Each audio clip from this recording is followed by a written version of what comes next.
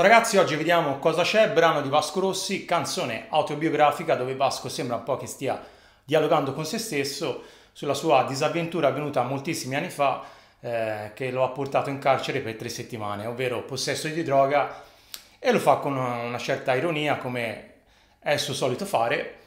Oggi vediamo la versione da studio di cosa c'è, quindi la versione dell'album Cosa succede in città del 1985. Quindi vedremo l'arpeggio dell'intro e della strofa, poi vedremo anche la strofa suonata con l'overdrive, quindi con power chord, e poi la chitarra solista.